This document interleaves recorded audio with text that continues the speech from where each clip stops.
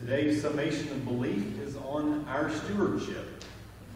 God's intention for mankind is that we serve Him as faithful stewards of His creation.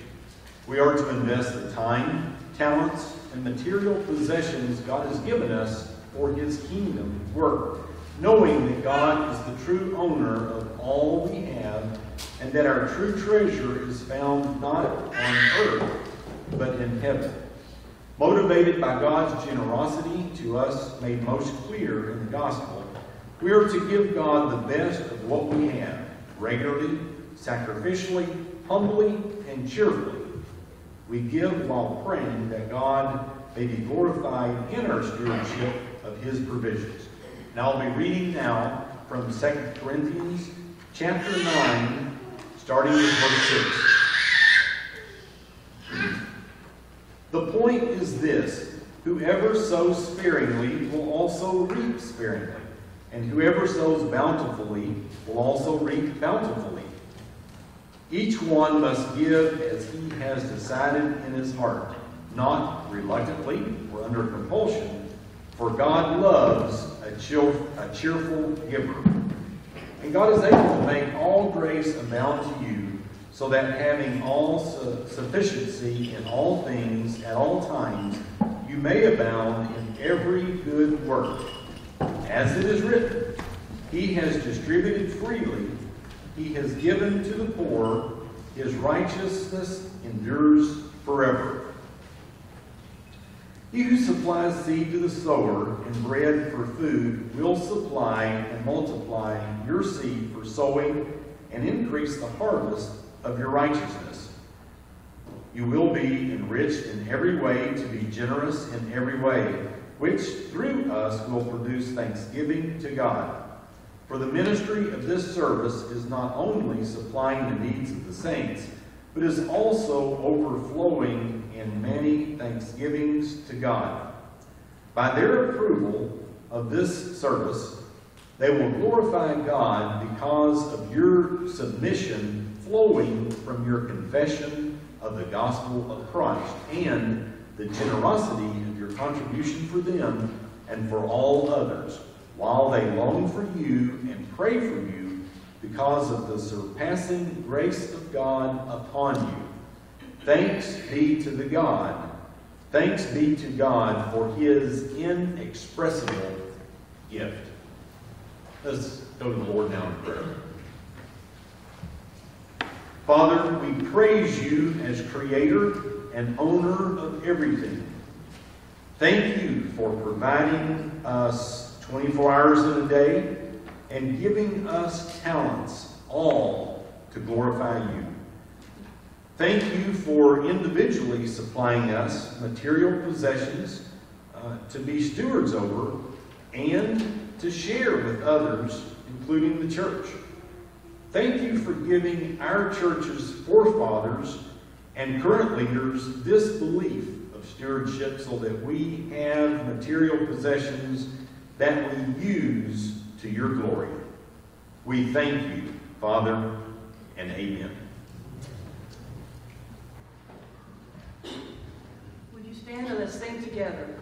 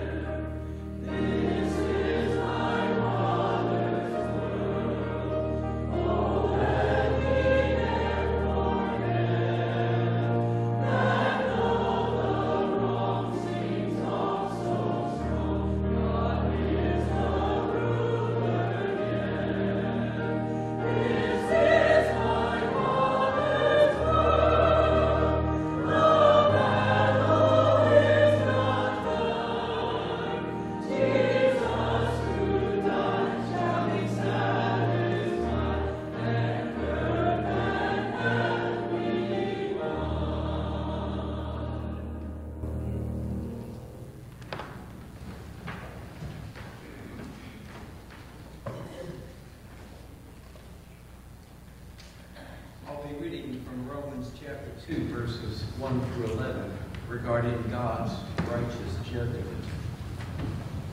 Therefore, you have no excuse, O man, every one of you who judges.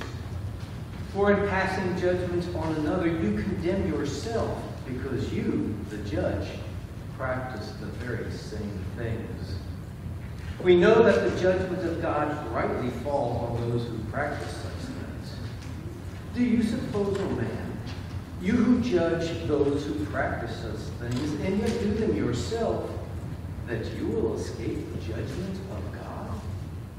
Or do you presume on the riches of his kindness and forbearance and patience, not knowing that God's kindness is meant to lead you to repentance? But because of your hard and impenitent heart, you are storing up wrath for yourself on the day of wrath when God's righteous judgment will be revealed. He will render to each one according to his works. To those who by patience and well-doing seek for glory and honor and immortality, he will give you eternal life. But for those who are self-seeking and do not obey the truth, but obey unrighteousness, there will be wrath and fury. There will be tribulation and distress for every human being who does evil, the Jew first and also the Greek. But glory and honor and peace for everyone who does good, the Jew first and also the Greek. For God shows no partiality. In Christianity, repentance is the act of seeking forgiveness from God because we know that we have sinned against God. And knowing how sinful our words or actions or way of life have been, there is sincere remorse over it, which then motivates us to seek forgiveness from God through prayer. In other words, repentance is about valuing God over ourselves. It is about pleasing God and not our flesh. Repentance is a change of mind. It is seen as a return to the Lord by restoring one's faith in Him and turning away from the wicked ways of sin. A change in our minds must be accompanied by a change in the way we live our lives, our words, and our actions. Will you bow in prayer with someone? Dear Heavenly Father, we have failed you in so many ways. We have judged our neighbors and not even lived up to our own standards. Our sins are many, and even our best is as filthy rags in your sight. Yet you have provided a way for us to be forgiven, so that when we humbly confess our sin, we can ask for your forgiveness. Thank you for your forgiveness. Thank you for not abandoning us to our mistakes, but for reaching out instead to bring us home. Help convict us of our sin and help us accept your mercy without shame. Thank you for your the love that you have poured out for all of your children. Help us to turn from our sin and lead us to walk in your way instead. For it is in Jesus' name and for your praise and glory we pray. Amen. Amen. Jesus died for ungodly sinners. And none of us deserve what he did for us. But as a forgiving God, the Lord will always welcome us back into his arms unconditionally. Sometimes the weight of our sins may cause us to feel as if we were beyond redemption. But that is not true because no amount of sin is a big enough reason to make our Heavenly Father stop loving us. He is just and merciful. When we confess our sins through our prayer of repentance, the Lord will show us unconditional you see, God has made it possible for us, His children, to come boldly to the throne of grace, even after we have sinned. We can draw near with confidence in spite of our shame at having failed. Why? Because Christ, by his death on the cross, presents us holy and blameless and above reproach in his sight.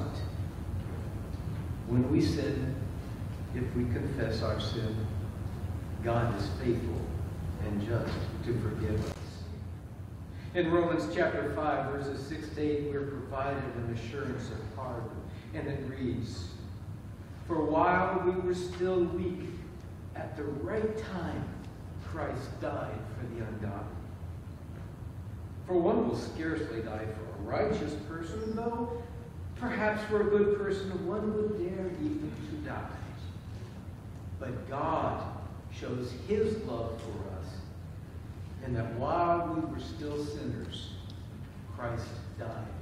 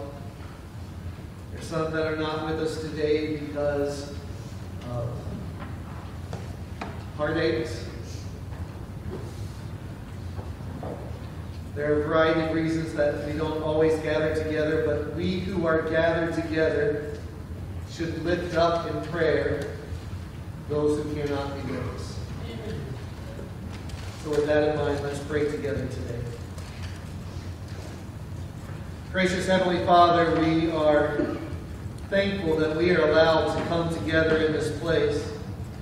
We are thankful that we are allowed to assemble. And while sickness continues to go throughout our country and even our own city, we're thankful that it is easier and easier to interact with others these days.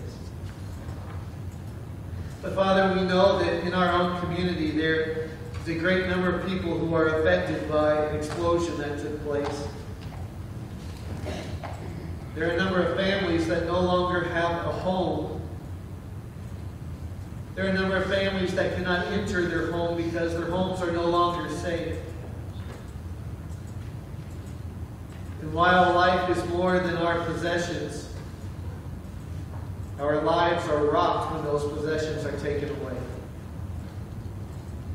We ask, Father, that not only would community agencies step up to help,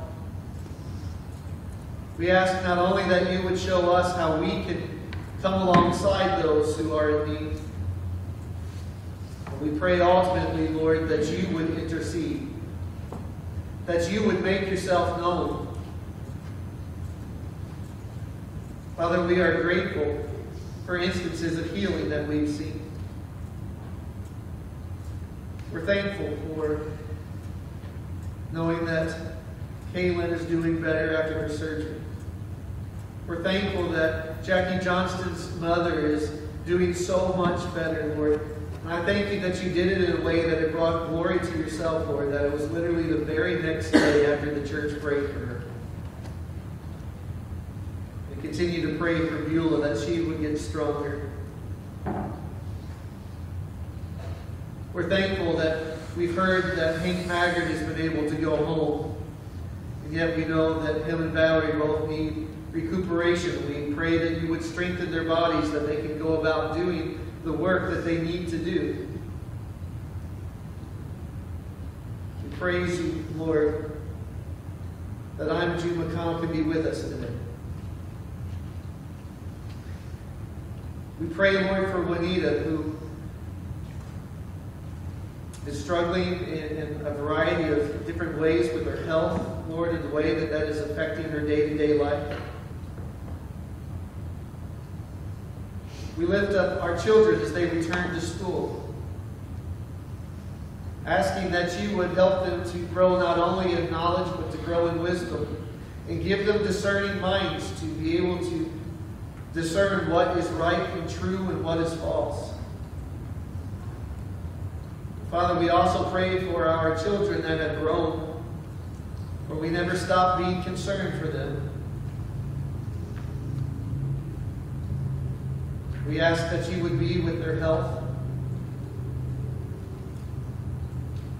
We pray for Jacob Sweat, Father, that you would intervene with his life and his day-to-day circumstances, both in his control and out of his control. Lord, we ask that you would show yourself to be strong. We pray for Danny James. Asking, Lord, that you would continue to work in his heart and work in him and through him for your pleasure. We pray, Father, for our church.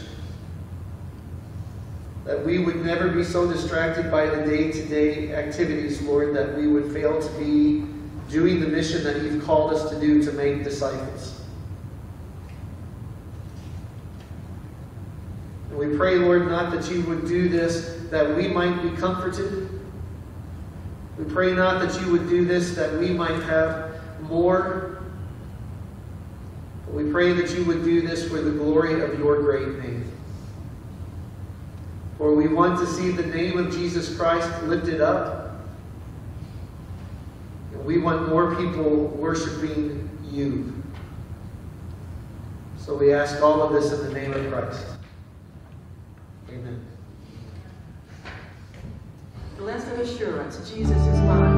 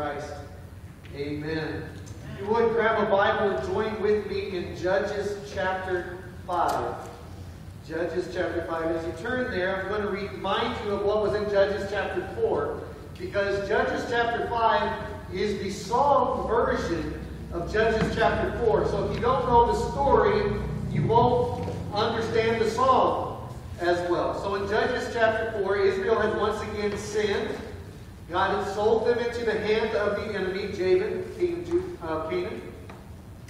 And the people went to Deborah, a prophetess who was judging Israel at the time, asking her to deliver them. And she called for Barak. Barak came, and Deborah told him to take 10,000 men to go to a particular mountain, and that God would cause that to draw out Sisera, the, the general of Jabin, and that God would then deliver Sisera into Barak's hand. Now, Barak was afraid by this plan some, and he says, Unless you, Deborah, go with me, I'm not going. So Deborah said, Well, I will go with you, but because of this, you're not going to get the glory. A woman's going to get the glory. But wouldn't you know it, Barak goes, and sure enough, Sisera comes and surrounds the mountain where the 10,000 army is. And God gives that army into Barak's hand, except for Sisera, who escaped. He ran away, was hiding with what he thought was an ally. And he went into the house of Jael, who was very comforting, put a rug over him in order to hide him, and when he was thirsty, gave him milk to drink, and he fell asleep, and while he was sleeping, she took, took a tent peg, put it against his temple, grabbed a hammer, and drove the tent peg into the ground and killed him. That was chapter 4. Here's the song of Judges chapter 4. Judges chapter 5. then sang Deborah and Barak, the son of Abinoam, on that day, that the leaders took the lead in Israel, that the people offered themselves willingly, bless the Lord. Hear, O kings, give ear, O princes. To the Lord I will sing. I will make melody to the Lord, the God of Israel. Lord, when you went out from Tyre, when you marched from the region of Edom, the earth trembled and the heavens dropped. Yes, the clouds dropped water. The mountains quaked before the Lord. Even Sinai before the Lord, the God of Israel. In the days of Shamgar, son of Anath, in the days of Jael, the highways were abandoned. The travelers kept to the byways. The villagers ceased in Israel. They ceased to be until I arose. I, Deborah, arose as a mother in Israel. When new gods were chosen, then war was in the. Was shield or spear to be seen among 40,000 in Israel? My heart goes out to the commanders of Israel who offered themselves willingly among the people. Bless the Lord. Tell of it, you who ride on white donkeys, you who sit on rich carpets, and you who walk by the way, to the sound of musicians at the watering places, there they repeat the righteous triumphs of the Lord, the righteous triumphs of his villagers in Israel. Then down to the gates marched the people of the Lord. Awake! Awake, Deborah! Awake! Awake! Break out in song! Arise, Barak! Lead away your captives, O son of Abinoam. Then down marched the remnant of the noble. The people of the Lord marched down for me against the mighty. From Ephraim, their roots, they marched down into the valley, following you, Benjamin, with your kinsmen. From Machir marched down the commanders, and from Zebulun those who bear the lieutenant's staff. The princes of Issachar came with Deborah, and Issachar faithful to Barak. Into the valley they rushed at his heels. Among the clans of Reuben, there were great searchings of heart. Why did you sit still among the sheepfolds to hear the whistling for the flocks? Among the clans of Reuben, there were great searchings of heart. Gilead stayed beyond the Jordan. And Dan, why did he stay with the ships? Asher sat still at the coast of the sea, staying by his landings. Zebulun is a people who risked their lives to death. Naphtali, too, on the heights of the field. The kings came, they fought. Then fought the kings of Canaan Taanach. By the waters of Megiddo, they got no spoils of silver. From heavens, the stars fought. From their courses, they fought against Sisera. The torrent Kishon swept them away. The ancient torrent, the torrent Kishon. March on, my soul, with might. Then loud beat the horse's hooves with the galloping, galloping of his steeds. Curse Meroz, says the angel of the Lord. Curse its inhabitants thoroughly, because they did not come to the help of the Lord. To the help of the Lord against the mighty. Most blessed of women be Jael, the wife of Heber the Kenite. Tent dwelling women most blessed. He asked water and she gave him milk. She brought him curds in a noble's bowl. She sent her hand to the tent peg and her right hand to the workman's mallet. She struck Sisera. She crushed his head. She shattered and pierced his temple between her feet. He sank. He fell. He lay still between her feet. He sank. He fell. There he fell dead. Out of the window, she heard the mother of Sisera wail through the lattice. Why is his chariot so long in coming?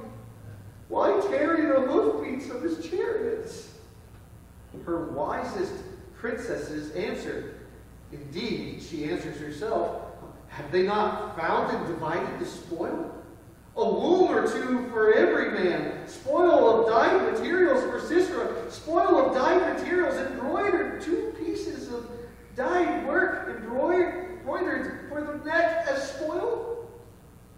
So may all your enemies perish, O Lord, but your friends be like the sun as he rises in his might.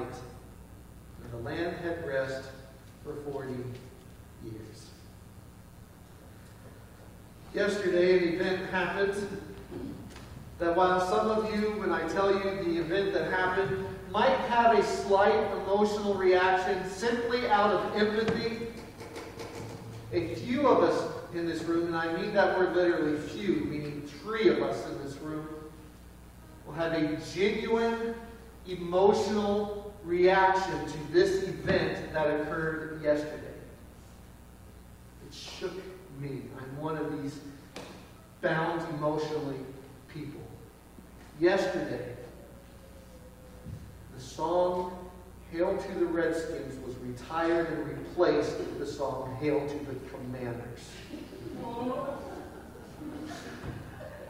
Now, see, some of you are laughing. You think this is a funny thing. You are humored by this. Some of you might feel a little bit of grief in understanding the pain that three of us in this room are going through. And by three, I'm not talking my wife and child. They may have some empathy, but they don't feel the pain that comes when the greatest fight song of all time is no more. You might wonder how ridiculous I'm being right now. But when it's the song, not very, stop it. But when it's the very song that spontaneously erupts from 70,000 people in unison at an event that happens, and you're a part of that group, feeling that call to victory, you might understand. For some of you, you'll never know what it's like to feel that when you hear. But some of you, it's your college fight song. Some of you, it's the music that gets played while players in blue run out, bouncing an orange ball around, aiming for a little hoop, and you feel everything inside of you start to go, oh, it's on now. You understand that when you go to the game, well, you're not watching at home, but you're actually at the game, and you start to hear, dun, dun, dun, dun, dun, dun, dun. What person? I didn't know. Well, I understand we're in church, we're too dignified for that, but when you're there, it comes out. I've seen some of you at Aces games with the hope when they come out and the tears when you leave, right? I've, I've seen, but notice whenever they're trying to get the crowd involved, they don't just talk, it's music that's used. There's something about music that, that speaks in a way that mere words alone cannot speak. There, there's something about carrying that tune. Now, some of you are musical people and some of you are not. If you're not a musical person, you just think that they arbitrarily bust out in song in random times throughout the play or the movie, and you're like, that's just ridiculous. Why did they burst out song there? Here's the rule for musicals, for those of you who don't understand. For your normal day to day life, you can speak, but when the emotion rises, it must come out in song. Amen. That, the, the great songs, are, it, it's, there's this music that comes out, and that's the part that you remember carrying on as you leave the theater. It's the music. Because it carries with it emotion and intellect weaved together into one package and how amazing it is that in this dark, painful, ugly book, here at the beginning is a song. A song that brings with it a group of subjects some of which we are familiar with in our songs, some of which seem very foreign and odd to us. It starts out there at the beginning. Notice Deborah and Barak are singing. And look at verse 2. That the leaders took the lead in Israel and that the people offered themselves willingly. They are singing about the reality that there were leaders and there were followers and they were in unison together. We, we've got some songs like that, you know, things like Blessed Be the Tie That Binds, and this idea of togetherness. But really what's being lifted up here is the fact that God has given leaders for his people. We see it in a number of different times throughout this. We see when Deborah rises up and we see her being called upon in verse 12. Awake, Deborah, break out in song. Barak, lead away your captives. We, we see them being called by name. And to us, that's a foreign concept. When you go through our hymn books, there are not hymns that are written to specific leaders. I got thinking about this. I, I looked at I couldn't find it. There's no hymns in our hymn book singing about the greatness of Athanasius. And when I got thinking about this week, I was like, you know, that's almost a crime. Amen. See, I knew I'd get an amen. While there are songs written by Martin Luther in our hymn book, there are no songs about Martin Luther in our hymn book. While Spurgeon pointed us to hymns, there's no songs about the greatness of Charles Spurgeon. And I got thinking, well, if we carry that on, I could in my own life, why have I not written a song about the greatness of Pat Graham? Not the basketball player, he was a minister that I grew up with. So sorry, you people here. Why is there no Pat Heck songs? Steve Russell songs? Should I be writing those? And I was thinking about it. Why is it that we've not written these songs to these great leaders? And finally, I'm slow, it hit me. Because we sing songs to the greatest leader. We don't write a song about Martin Luther because we have Jesus. We, we don't write about Athanasius because even Athanasius would say, don't write about me, write about Jesus. Write about the one that's greater. Now, in these days, that this song that we have in Judges chapter 5 was being written, their leader, their salvation, was coming through Deborah. But our salvation never came through Athanasius. Our salvation never walked through the halls of Martin Luther. Martin Luther and Athanasius and, and Calvin and all of the great men of faith and women of faith only pointed us to the one that our ultimate salvation came. And they would not have us write songs about them. I would not have any song written about me. If you see something great that I've been able to do for you, don't write it about me, write it about the Savior who used.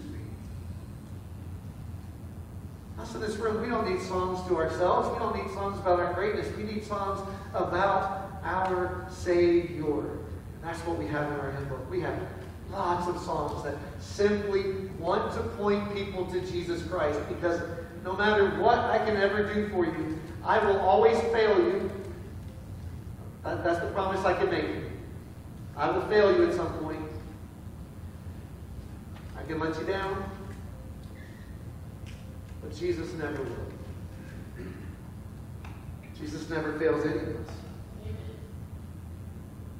The work that's necessary for you and me was already completed when he came, when he lived a sinless life. And here's a Savior that we can sing about. Not only did he walk this earth and live that sinless life, but he died for your sins and for mine. That was in the songs that we sang today. How great thou art. I mean, it's one of those songs that, I mean, just, it's, it's, you feel that song. And when I think that God his son not sparing, sent him to die, I scarce can take it in. And on the cross, I heard and gladly buried. He bled and died to take away my sin. And that what that next line is the only line that can follow. Then sings my soul. It's got to come out in song. They sing about their leaders, the ones who brought them salvation, and so should we. Notice there's something else really weird in here. For our culture today, this scares some of us. But look there, verse, let's see, verse 4.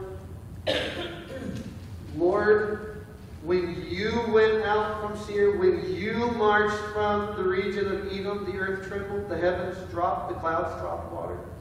The mountains quaked before the Lord, even Sinai before the Lord. The picture of this song is not God, my best friend. The picture of this song is God, the mighty warrior. The God who is the God of the angelic hosts. The God who can come down and decimate his enemies. The God who fears no general, regardless of how many iron chariots they have. Sisera had 900 iron chariots, terrifying to Israel. But to God, he simply needs to walk onto the field, and he has nothing to fear. The ultimate general. Now, we've got a couple songs that we pull out every once in a while. Usually, if it's a man day, we'll pull out, you know, Onward Christian Soldiers. You know, looking at us as soldiers. But there's a painful few number of songs where it says, God is the warrior.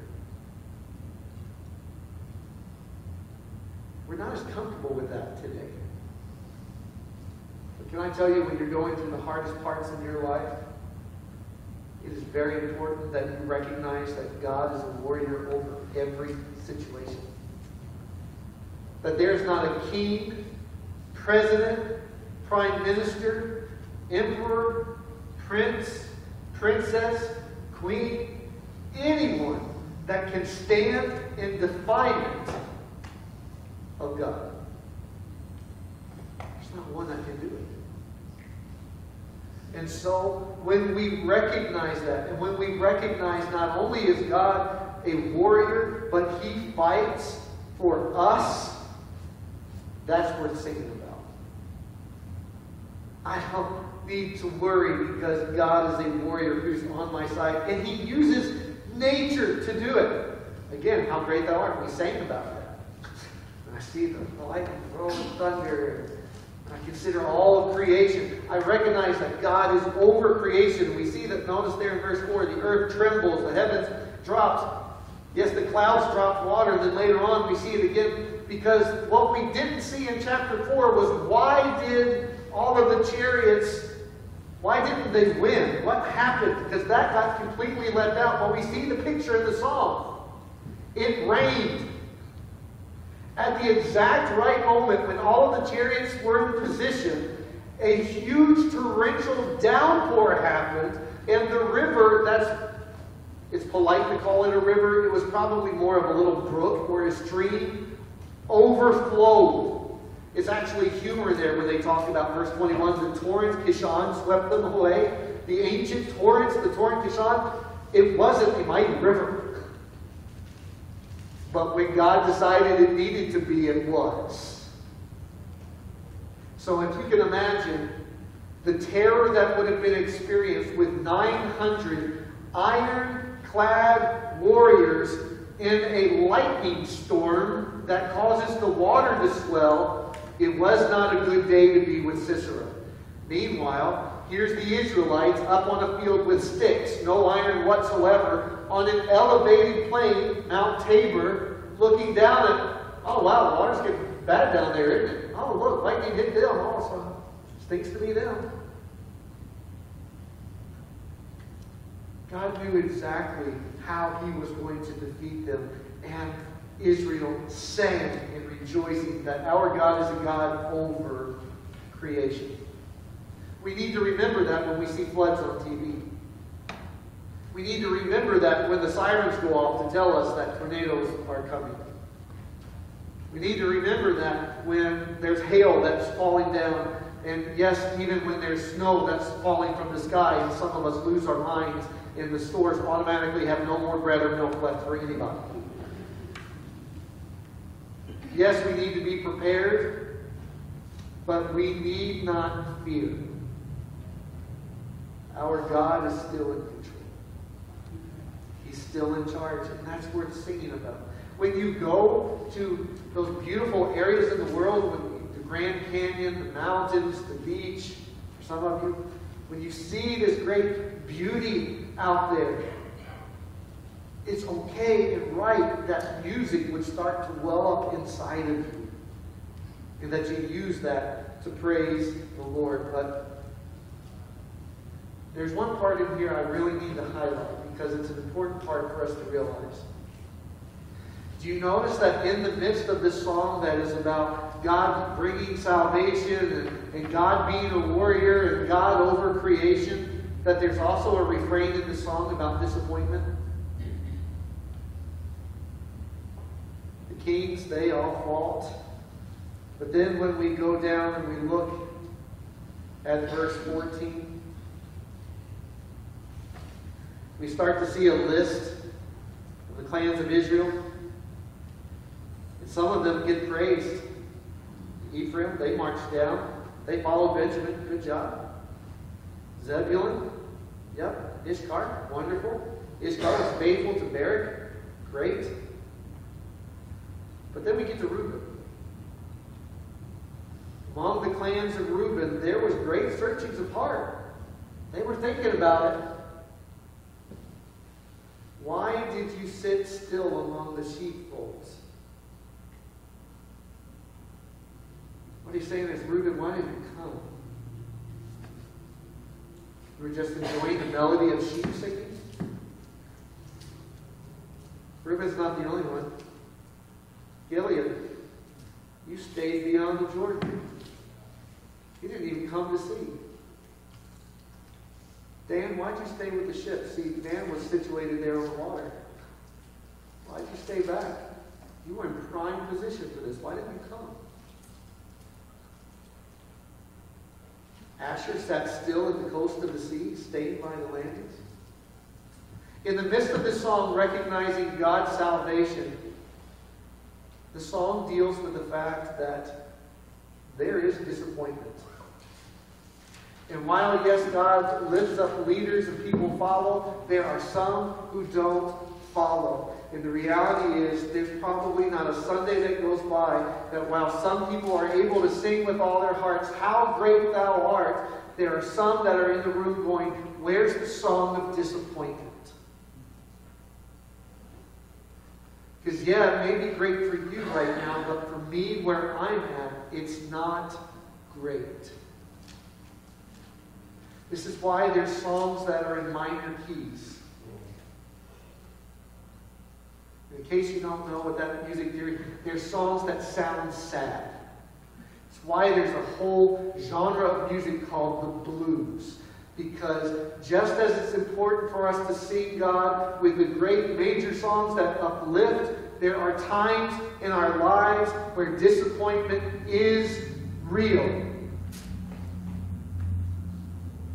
And it hurts and it makes us angry. And even in this, we see a curse on one city, verse 23. It's a terrifying verse. Curse Meroz, says the angel of the Lord. That was a city. Curse its inhabitants thoroughly because they did not come to the help of the Lord. It's not that God needed their help. That, that'd be a ridiculous understanding of it. The Lord almost didn't make it because Meroz didn't come. No, it's nothing like that. But curse them that when the call went out, they stayed home. You might be here today.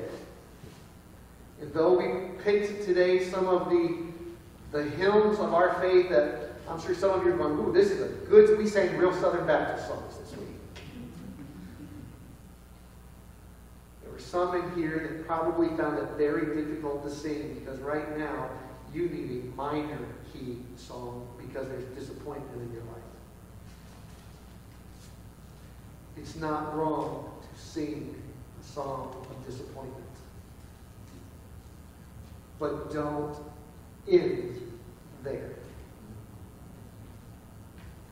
It's not the last verse.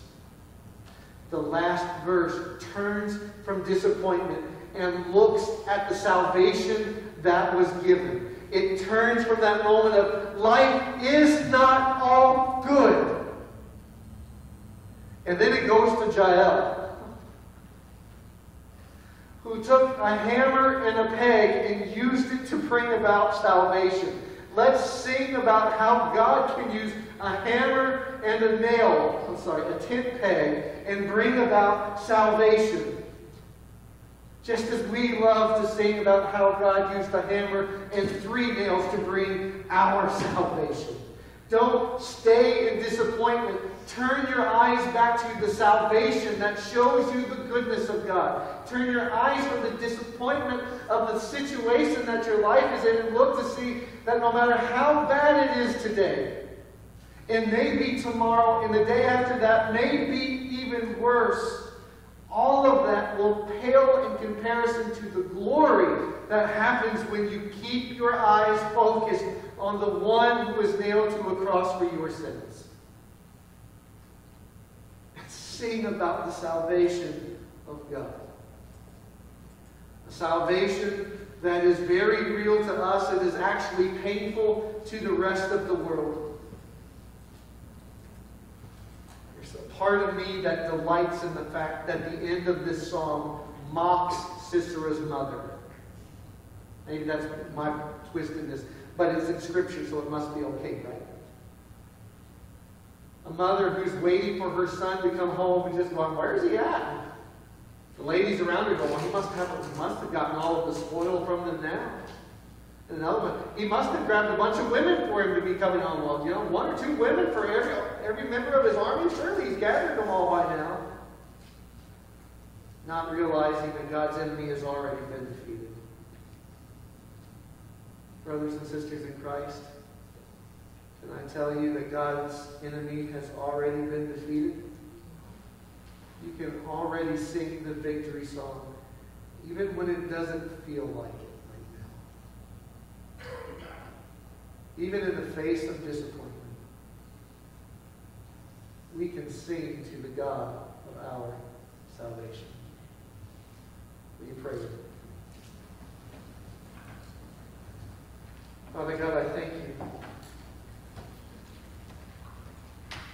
Thank you for showing us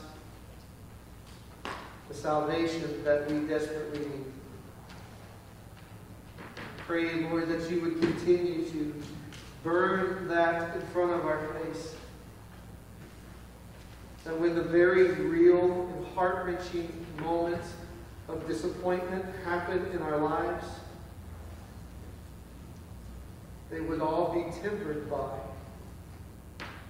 the beauty of Jesus Christ and Him crucified for our sins. And when we look upon the tragedies of today, we would rightly acknowledge them as tragedies. We would still be able to say, How great is our God! Pray, Lord, that you would grant to each one here today the ability to believe that Jesus Christ has indeed already defeated their worst enemy. As sin, death, and the devil were crushed beneath the cross and empty grave of Jesus Christ. Make us mindful of that so we can sing well. For I pray this in his name. Amen. Today, if you've never publicly declared that you believe in what Christ has done for you, I invite you, as we sing this song, come and, and share that with me so that I can help you to know what it means to fully trust in Jesus Christ. But can I say that if you're going through a time of disappointment in your life, as I know a number of you in this room right now are, can your, my invitation to you, my call to you today is through the tears and the pains that you're going through, sing this last song to the Lord, the giver of your salvation. Let's stand we sing.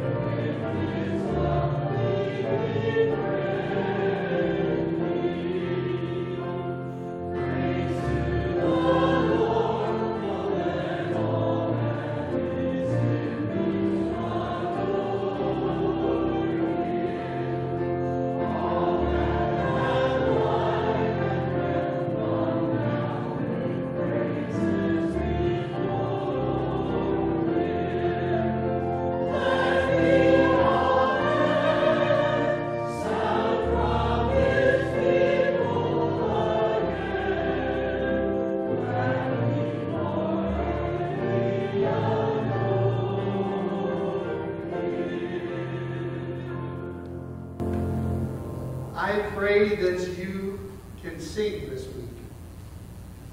And not just a song that you hear on the radio, but you can sing from your heart about the salvation of the God who loves you.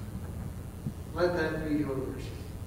Let's receive the benediction as we leave here today. Almighty God, maker of heaven and earth, thank you for giving us the gift of music speak louder than any words we might be able to find. Bring that music alive in our hearts. And now, Father, as we leave this place today, grant us your peace. Amen.